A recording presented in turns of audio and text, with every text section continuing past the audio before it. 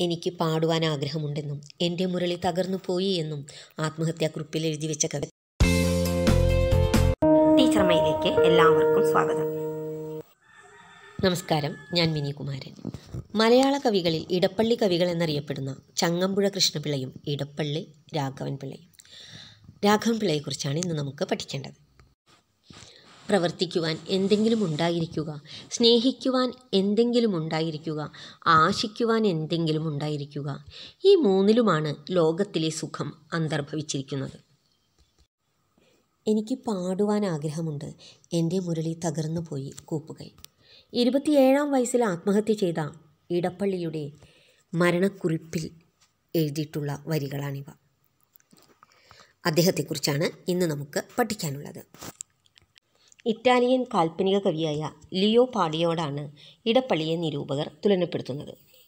ഇടപ്പള്ളി രാഘവൻപിള്ളയുടെ ജനനം ആയിരത്തി തൊള്ളായിരത്തി ഒൻപത് ജൂൺ മുപ്പതിനായിരുന്നു. ആയിരത്തി തൊള്ളായിരത്തി ഒൻപത് ജൂൺ മുപ്പതിന് എറണാകുളത്തെ ഇടപ്പള്ളിയിലാണ്. അവിടെ ഇളമക്കരയിലാണ് അദ്ദേഹത്തിന്റെ ജനനം. ജന്മസ്ഥലം അതാണ് എറണാകുളം ജില്ലയിലെ ഇടപ്പള്ളിയിലെ ഇളമക്കര. അദ്ദേഹത്തിന്റെ മാതാപിതാക്കളാണ് അതായത് അദ്ദേഹത്തിന്റെ പിതാവ് എക്സൈസ് വകുപ്പിൽ ശിപായിയായിരുന്ന പാണ്ഡവത്ത് നീലകണ്ഠപിള്ള മാതാവ് മീനാക്ഷിയമ്മ. പിതാവ് നീലകണ്ഠപിള്ള മാതാവ് മീനാക്ഷിയമ്മ. അദ്ദേഹത്തിന്റെ കൃതികളെക്കുറിച്ച് പറയാം.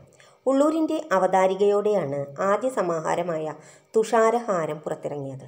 അദ്ദേഹത്തിന്റെ ആദ്യ സമാഹാരത്തിന്റെ പേര് തുഷാരഹാരം എന്നാണ് മറ്റു കൃതികൾ നവസൗരഭം ഹൃദയസ്മിതം മണിനാഥം എന്നിവയാണ്. നവസൗരഭം ഹൃദയസ്മിതം മണിനാഥം എന്നിവ. മണിനാഥം സുധ ചില്ലിക്കാശ് എന്നീ ഗദ്യരചനകൾ അവ്യക്തഗീതം കാമുകി കൃഷിപ്പാട്ട് എന്നിവയും അദ്ദേഹത്തിന്റെ മരണശേഷമാണ് പ്രസിദ്ധീകരിച്ചിരുന്നത്. അദ്ദേഹത്തിന്റെ മരണശേഷമാണ് മണിനാദം സുധ ചില്ലിക്കാശ് അവ്യക്തഗീതം കാമുകി കൃഷിപ്പാട്ട് എന്നിവ പ്രസിദ്ധീകരിച്ചത്. ആയിരത്തി തൊള്ളായിരത്തി മുപ്പത്തി ആറ് ജൂലൈ അഞ്ചിനാണ് അദ്ദേഹത്തിന്റെ അന്ത്യം സംഭവിച്ചത്. അതായത് അതൊരു ആത്മഹത്യയായിരുന്നു. അദ്ദേഹം ഇരുപത്തിയേഴാം വയസ്സിൽ സ്വന്തം ജീവിതം സ്വയം അവസാനിപ്പിക്കുകയാണ് ഉണ്ടായത്. ഒരു പ്രേമ നൈരാശ്യത്തിൽപ്പെട്ട് പ്രണയ നൈരാശ്യം മൂലമാണ് അദ്ദേഹം ആത്മഹത്യ ചെയ്തത്.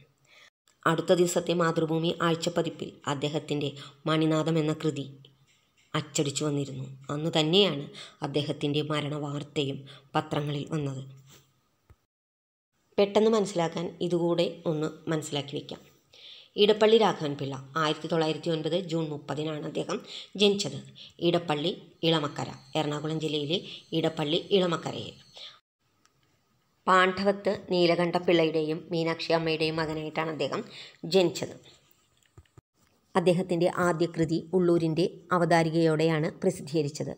നവസൗരഭം ഹൃദയസ്മിതം മണിനാഥം സുധ ചില്ലിക്കാശ് അവ്യക്തഗീതം പിന്നെ കൃഷിപ്പാട്ട് തുടങ്ങിയവ അദ്ദേഹത്തിന്റെ കൃതികളാണ്.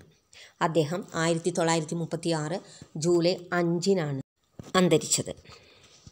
ആയിരത്തി തൊള്ളായിരത്തി മുപ്പത്തി ആറ് ജൂലൈ അഞ്ചിന്. അദ്ദേഹത്തെക്കുറിച്ച് കൂടുതൽ വിവരങ്ങൾ മക്കൾക്ക് അറിയണമെങ്കിൽ മക്കൾക്ക് കമന്റിലൂടെ ചോദിക്കാവുന്നതാണ്. മക്കൾക്ക് കൂടുതൽ വിവരങ്ങൾ അറിയുമെങ്കിൽ കമന്റിലൂടെ അത് സൂചിപ്പിക്കാവുന്നതാണ് കേട്ടോ.